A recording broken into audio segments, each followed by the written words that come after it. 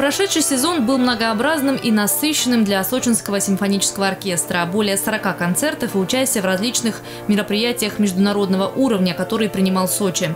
Открывали цикл концертов в прошлом году музыкой Чайковского, завершают Рахманиновым. Перед каникулами оркестра Сочинское концертно-филармоническое объединение решило организовать, что называется, бонусный концерт под названием «Спортивный аккорд». Есть такой музыкальный термин «аккорд».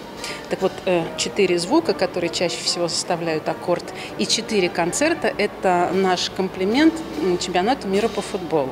Ну и вообще наш город действительно сейчас в таком каком-то в центре всемирных событий, поэтому четыре концерта ансамбля Люба, Кудрина, оркестр «Русский сувенир» и симфонический оркестр сольются в одном музыкальном аккорде с 1 по 7 июля. Так что это будет еще сверхзапланированного сезона.